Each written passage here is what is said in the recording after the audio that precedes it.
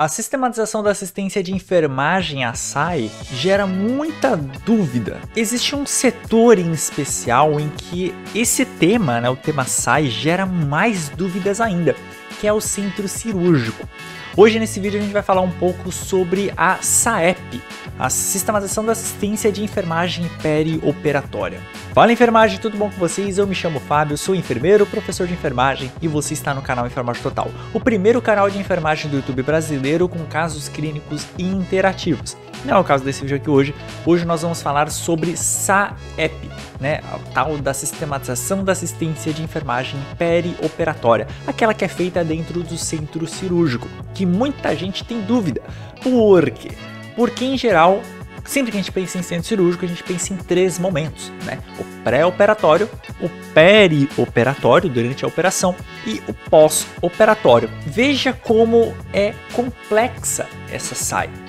Quando a gente pensa numa sistematização ou num processo de enfermagem, vamos deixar mais fácil aqui a, a, linguagem, quando a gente pensa no processo de enfermagem numa unidade de terapia intensiva, numa, uni, numa unidade clínica, né, numa unidade de internação, a gente está pensando nas próximas 24 horas, né, o cuidado que será realizado, os diagnósticos de enfermagem para as próximas 24 horas. Quando a gente pensa no centro cirúrgico, a gente está falando do curto prazo, a gente está falando do pré-operatório, o que deve ser feito no pré-operatório de, de, intervenção. Tipo, é praticamente um processo de enfermagem para o pré, um processo de enfermagem inteiro para o peri e um processo de enfermagem inteiro para o pós. Então você vai fazer praticamente três processos de enfermagem para uma questão de poucas horas.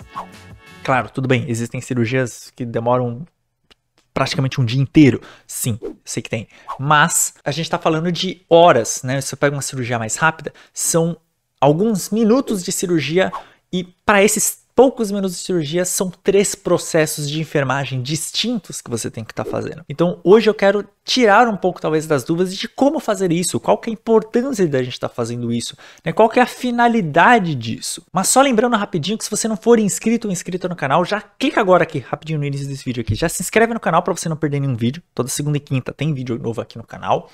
E principalmente, você me ajuda muito pra caramba se você compartilhar esse vídeo com as pessoas. Tem um link aqui embaixo, tem alguma setinha escrito compartilhar. Assim, clica nessa setinha e compartilha, né? Grupo de WhatsApp, Facebook. Em menos de um, dois minutos, tu já fez isso, já voltou pro vídeo e dá sequência aqui nos conhecimentos. O centro cirúrgico é uma das unidades mais complexas do hospital.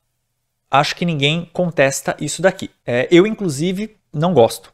Tá? Eu, eu, Fábio mesmo, não sou chegado em centro cirúrgico, não gosto de trabalhar, mas entendo bastante sobre SAI, então bora explicar um pouquinho é, para vocês sobre SAI no centro cirúrgico. Mas eu mesmo, se me convidarem, fala, Fábio, estou te pagando 15 mil reais por semana para você trabalhar no centro cirúrgico. Eu sinto muito, não vou trabalhar. Tá bom? Eu sei que muita gente seria tentada por essa grana, mas não tem grana que me faça trabalhar no centro cirúrgico, infelizmente tá bom? Então, centro cirúrgico é uma das unidades mais complexas de um hospital, sim. E para isso existe a sistematização da assistência de enfermagem perioperatória. Apesar da gente falar SAEP, né, que é a, a, a sigla que é SAEP pra gente, apesar da gente falar perioperatória, a gente está falando desses três momentos, tá? A gente está falando do pré-operatório, do transoperatório, que é o momento da cirurgia, e o pós-operatório, tá? Que é ali no momento da, da sala de RPA, de recuperação pós-anestésica. Então, o perioperatório, quando a gente fala em perioperatório, a gente está falando desses três momentos, tá? Do pré, do trans e do pós-operatório. Qual que é o propósito da SAEP? Né? Você vai, assim como da SAI normal ali na unidade de internação, é você promover uma assistência de qualidade de forma participativa, continuada, individualizada e documentada. É você trazer segurança para o paciente através da execução sistematizada de um método teórico, que é o processo de enfermagem. Tá? Então você vai aplicar o processo de enfermagem para trazer mais segurança para o paciente, para os seus familiares e para os profissionais de enfermagem. Assim, os objetivos da sistematização, né, dentro da operatória, é analisar as necessidades individuais do paciente, então, para cada tipo de cirurgia, você vai ter uma necessidade diferente, acho que isso é mandatório e óbvio. Você vai diminuir os riscos e promover a segurança do paciente, como a gente disse. Então, é muito importante que você diminua os riscos aqui. Um exemplo, Fábio, coxins, tá? Risco de lesão por pressão durante a cirurgia perioperatória. Isso é mandatório, você vai utilizar ali os coxins necessários para cada tipo de cirurgia, dependendo do posicionamento do paciente para cada tipo de cirurgia. Então, isso é uma coisa que você, enfermeiro, tem que dominar. Esclarecer dúvidas e promover orientação, isso daqui é muito importante no pré-operatório.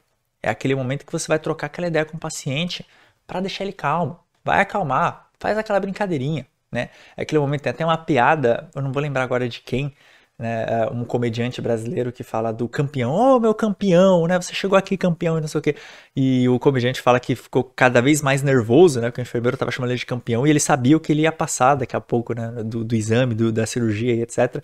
Mas é esse o momento de tentar descontrair, de tentar deixar o clima um pouco mais leve e deixar o paciente mais tranquilo para ele se preparar para essa cirurgia. E aí esclarecendo dúvidas, trazendo orientação é a melhor forma de deixar ele tranquilo.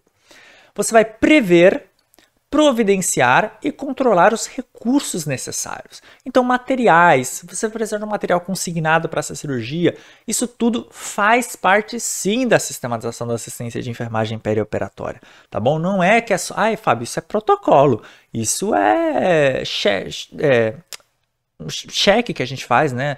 Sim, eu sei.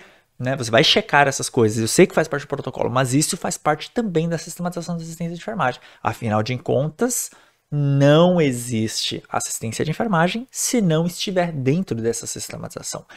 Qualquer assistência de enfermagem fora dessa sistematização vai atrapalhar a, a, o, o, o mecanismo enfermagem tá bom? Então a enfermagem tem que estar trabalhando como orquestra. E quem rege essa orquestra? O enfermeiro, através do que? Né? O que, que é a batuta? Né? A batuta é esse, esse pauzinho que o maestro tem na mão. É, o, o, o que, é a batuta do enfermeiro? É a sistematização da assistência de enfermagem. Né? Através da SAI que ele comanda a orquestra chamada enfermagem dentro do centro cirúrgico. E ele vai estabelecer os diagnósticos de enfermagem e planejar assistência para cada um dos pacientes de acordo com a cirurgia e de acordo com as necessidades de cada um deles. Tá? Isso daí acredito que também não tenha, não reste dúvidas aí. E quais são as etapas da SAEP? Tá? As etapas do processo de enfermagem a gente sabe né, que o paciente vai ter uma, um histórico de enfermagem, na sequência vamos fazer diagnóstico de enfermagem, na sequência planejamento, implementação e avaliação. Mas dentro do centro cirúrgico existe alguma diferença? Vamos dar uma olhadinha. Você vai primeiro fazer a visita de enfermagem no pré-operatório. Ou seja, vai colher os dados do paciente, vai entender do que a gente está falando. Vamos preencher os documentos para que a gente tenha todas as informações necessárias para quando esse paciente estiver desacordado, ele não pode dar nenhuma informação para a gente desacordado, ele está sedado. A gente precisa ter tudo ali na mão. Então é o momento em que nós, claro, o anestesista vai fazer a visita dele, o, o cirurgião vai fazer a visita dele, o enfermeiro faz a visita dele também pré-operatória, tá? Isso geralmente ali no pré-operatório imediato, bem próximo ali do início da cirurgia, mas também é checar documentações, é checar o paciente, checar a data de nascimento, perguntar para ele, isso tudo faz parte sim da SAEP, tá? Nós vamos planejar a assistência. O que vai ser necessário para esse paciente durante a cirurgia? O que vai ser necessário para esse paciente no pós-cirúrgico, se tudo ocorrer bem? E se não ocorrer bem, o que nós precisamos ter de plano B? Nós vamos planejar essa assistência, assim como na SAI, no processo de enfermagem tradicional. Vamos implementar essa assistência, aí através principalmente é, dos colegas circulantes né, dentro da, da sala de, de cirurgia. Vamos avaliar essa assistência no pós-operatório e vamos reestruturar se for necessário, que é o caso aí de uma emergência, aconteceu alguma coisa durante a cirurgia, nós vamos reestruturar a assistência que vai ser necessária para o pós, porque o pós-operatório agora vai ser diferente. Esse pós-operatório imediato dentro da RPA é importante que a gente reestruture de acordo com o que acontecer durante a cirurgia. Mas eu quero dar uma atençãozinha grande para a visita pré-operatória de enfermagem, tá? A VPOE visita pré-operatória de enfermagem. Ela vai ser fundamental para o preparo físico e emocional do paciente, como a gente disse, nessa preparação, tirar dúvidas, deixar o paciente mais calmo. A enfermagem é a advogada do paciente. Tá? Nós temos que estar do lado do paciente nesse momento, essa é a nossa função. Então é importante que a gente trabalhe em função desse momento de confiança, nós sejamos a pessoa de confiança do paciente dentro do centro cirúrgico nós vamos realizar as orientações gerais e específicas com linguagem clara. Isso aqui é muito importante. Por quê? A gente sabe que na enfermagem tem muito palavrão. Né? Na medicina, em geral, existe muito palavrão, é, palavras complexas, linguagem nada clara, que muitas vezes nem a gente tem direito. E se a gente fala para o paciente que ele uh, os nomes das pinças que a gente vai utilizar, que a gente fala para ele o nome da cirurgia que vai ser feita e não fala de uma forma clara, só vai deixar o cara mais nervoso. Que ele vai falar, tudo bem, tipo, ela tá me explicando, eu vou acenar com a cabeça e vou fingir que, que sei do que ela tá falando, mas eu tô na minha cabeça ficando mais desesperado porque eu tô entendendo cada vez menos e eu tô indo pra uma mesa cirúrgica daqui a pouco, sabe? Então, falamos, falemos com linguagem clara com o nosso paciente. E nós vamos realizar o levantamento de dados através de checklist. Tá bom? Que checklist é esse, Fabio? Que informações nós precisamos? Eu trouxe aqui dados de um estudo de Júnior e et al., onde ele é, trouxe aqui a deficiência de dados né, que ele encontrou em prontuários de pacientes. Mas só para a gente ter uma noção, não vamos nem analisar aqui o, as deficiências, as porcentagens né, que, ele, que ele achou aqui, mas informações que nós temos que coletar nesse pré-operatório. O que tem que estar tá para a gente, né? Claro que isso provavelmente já vai vir da estação, se for um, uma cirurgia planejada, esse paciente já vai vir com boa parte desses, dessas informações, mas não tendo boa parte dessas informações, nós temos que complementá-las, né? O nome do paciente, acredite se quiser, não, olha aqui, ó, tipo, no estudo de Júnior ele achou um prontuário que não tinha nem o nome. Você fala, Pô, então, pelo amor de Deus, né, gente? O nome é o básico, tipo de cirurgia, qual é a especialidade cirúrgica, a idade do paciente, o peso do paciente que tem que estar tá ali, principalmente você da pediatria, meu querido irmão. Tudo na pediatria é calculado sobre o peso, tá? No paciente adulto, a anestesia também vai ser calculada sobre o peso. Então, por favor, escreva o peso no prontuário do paciente a altura do paciente, o número do prontuário, o número do leito, se ele tem alguma alergia, patologias pré-existentes, uso de medicação diária, se ele recebeu, se ele fez uso disso hoje, né, antes da cirurgia.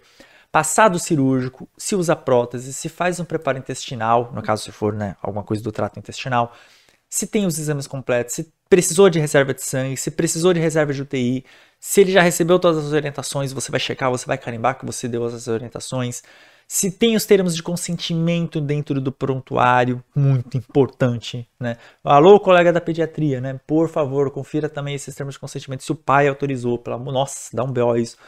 Se teve visita pré-anestésica, se a integridade, né? Como está a integridade da pele ou como ficará a integridade da pele, se está tudo bem orientado e identificação da área cirúrgica, se precisou de marcação, se não precisa de marcação, né? É, de, de, da cirurgia. Então, cheque tudo isso. Então, isso daqui é tudo muito importante no pré-operatório, tá? Então, isso daqui faz parte fundamental dessa SAEP. E aqui eu trago só para a gente finalizar algumas referências, se vocês quiserem pesquisar um pouco mais sobre o assunto, é só vocês estarem aqui direcionando, ou melhor, para cá, apontando o celular de vocês para esses códigos QR, que você entra, você faz a sua pesquisa, lê esses artigos que eles são muito interessantes, são atuais aí para gente.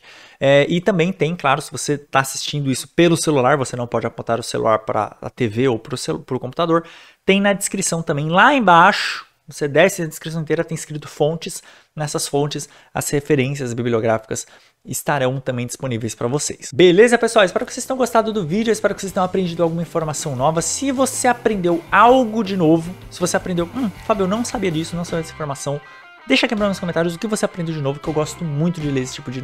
de, de, de é, não é notícia, meu Deus, é mensagem de vocês. Como eu disse para vocês no início do vídeo, se você não se inscreveu, se inscreve no canal aqui embaixo, né? Também compartilha com outras pessoas esse vídeo, deixa o like e a gente se vê no nosso próximo vídeo aqui do canal. Nessa segunda-feira a gente tem caso clínico interativo, na próxima quinta-feira mais uma aula dessa forma tradicional que vocês já conhecem. Até a próxima. Tchau, tchau.